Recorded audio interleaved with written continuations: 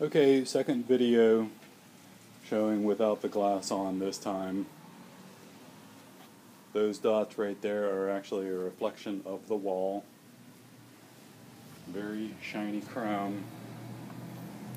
Very beautiful. Again, all reflections, no flaking chrome at all. I turned it around just to make sure that I wasn't missing anything. Again, any additional questions, just let us know.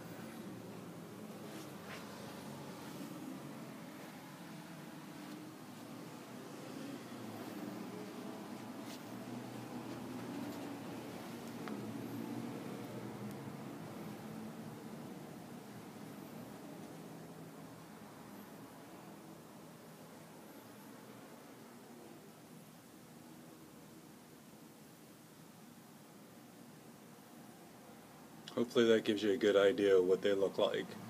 Again, any additional questions, just let us know.